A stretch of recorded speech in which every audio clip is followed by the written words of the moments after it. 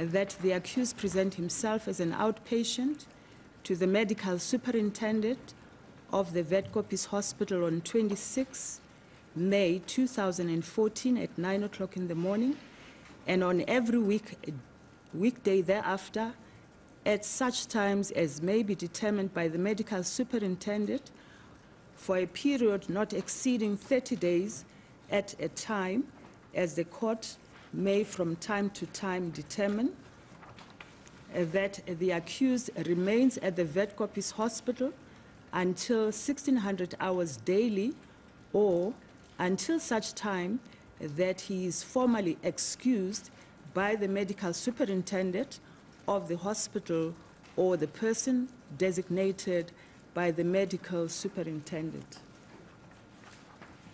A psychiatrist appointed in terms of the provisions of Section 79, subsection 1b, 1, inquire into whether the accused, by reason of mental illness or mental defect, was at the time of the commission of the offense criminally responsible for the offenses charged, whether he was capable of appreciating the wrongfulness of his act or of acting in accordance with an appreciation of the wrongfulness of his act.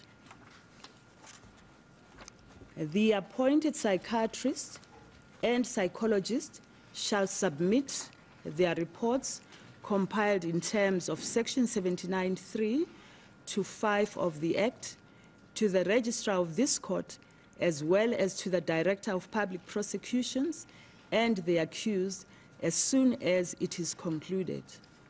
Five, that the record of the court proceedings be made available to the said psychiatrist and psychologist should they regard, regard it necessary to peruse same or any part thereof.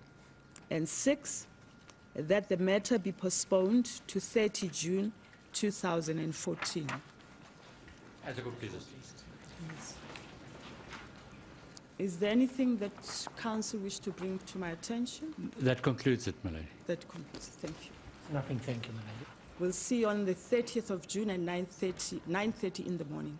As a good pleases.